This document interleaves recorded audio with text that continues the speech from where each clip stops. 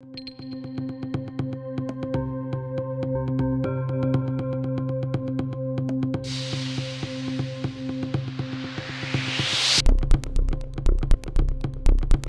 Nous sommes le 6 mai 2014 à Nice. Une fusillade éclate devant l'hôpital Larcher. Deux personnes à bord d'un monospace noir sont visées par des tirs à bout portant. Alors ça déjà c'est quand même pas banal, hein, une fusillade devant un hôpital.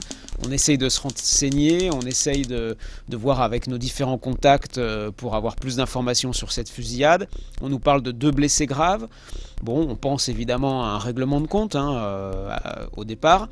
Et puis assez vite, il y a un nom qui sort et qui fait euh, changer complètement euh, de dimension euh, ce fait divers, c'est le nom d'Hélène Pastor. Hélène Pastor, 77 ans, richissime femme d'affaires monégasque.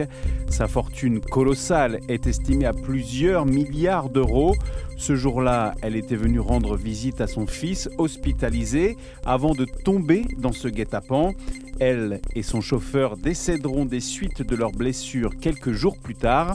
Alors qui et pourquoi La police démarre son enquête avec l'identification du tueur présumé et de son complice. Ils partent de Marseille en train, on les voit sur des images de vidéosurveillance. Ils arrivent à Nice, ils prennent des taxis. Euh, ensuite, ils vont dans une chambre d'hôtel. Euh, manque de chance, euh, l'un d'eux laisse des traces ADN sur un gel douche. On les voit ensuite attendre devant l'hôpital Larcher, attendre leur, leur victime. Euh, il y en a un qui a une casquette, euh, ils sont vêtus de noir, mais enfin ils sont pas très discrets non plus. Et puis ensuite, pour exécuter le contrat, ils utilisent un fusil de chasse à canoncier. Euh, c'est pas une arme qu'on a l'habitude d'utiliser pour les règlements de compte. Donc c'est vrai que ces différents facteurs montrent bien qu'ils ont laissé des traces derrière eux euh, tout au long de, cette journée. Après un travail d'enquête titanesque et l'analyse de plus de 3 millions d'appels téléphoniques, c'est le scénario digne d'un polar qui se dessine. Les enquêteurs remontent jusqu'au commanditaire présumé Wojciech Janowski, qui n'est autre que le gendre d'Hélène Pastor. Cet homme d'affaires, ex-consul honoraire de Pologne à Monaco, est marié à Sylvia Pastor depuis 28 ans. Il est interpellé le 23 juin 2014 lors d'un vaste coup de filet. En garde à vue, il avoue euh, ce double assassinat avant de se rétracter. Donc ses aveux font qu'il est mis en examen. Euh, comme le, commanditaire de ce double assassinat. Et puis ensuite, il se rétracte, il dit qu'il y a eu un problème de, traduction en garde à vue, et depuis, il se dit innocent, il martèle son innocence. La thèse d'un contrat est pourtant accréditée par le coach sportif de Janowski, Pascal Doriac.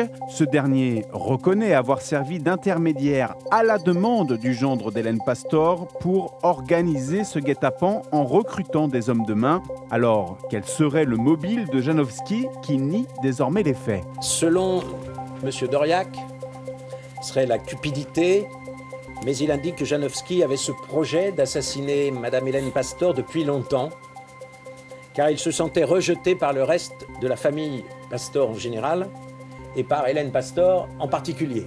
Quatre ans après la mort de la milliardaire Hélène Pastor et de son chauffeur, le procès s'ouvrira le 17 septembre prochain devant la cour d'assises d'Aix-en-Provence. Au total, 10 personnes seront donc jugées, dont un ex-consul à Monaco, un coach sportif, mais aussi des voyous marseillais. Un box des accusés au casting improbable, duquel pourrait enfin jaillir la vérité sur cette affaire.